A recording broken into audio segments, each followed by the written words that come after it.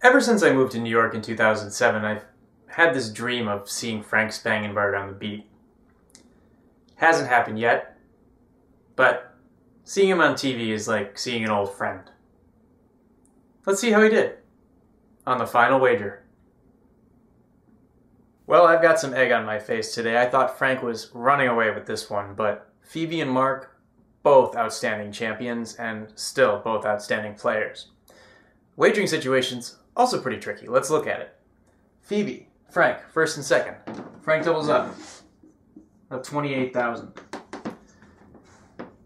So to lock him out, Phoebe's going to need to wager 10,901 at that dollar. If she gets it wrong, she's going to be left with 6200 6199 so to stay above that we'll look at both players at the same time frank can wager up to 7800 and mark can wager up to 4200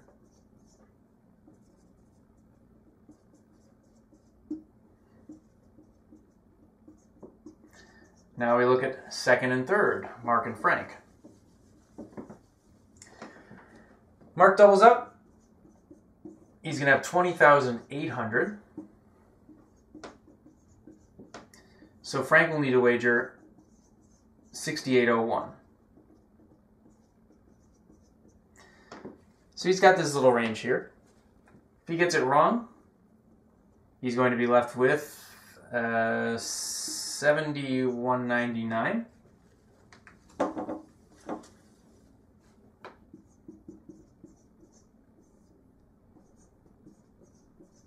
So Mark can wager up to 3,200 against Frank. Now we look at rule number three. Can any of our players cover a zero wager by the other while remaining in their uh, required range? Frank and Mark are separated by 3,600. That's more than Mark can put on the line without risking losing on the downside. So, no, none of our three players can wager to cover a zero wager by the other safely. All three players wagered very well. Phoebe, a little bit too much, but I think she knew she was against some good wagerers. She wasn't going to win if she got it wrong no matter what. Now, I mentioned I thought this situation was pretty tricky, and I'll show you that there are some alternative wagers that our players could look into. Mark can't cover a zero wager by Frank.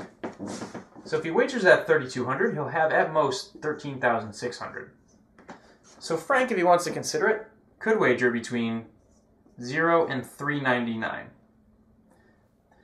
The other alternative wager is if Phoebe thinks that Frank will wager rationally, he can only wager 7,800,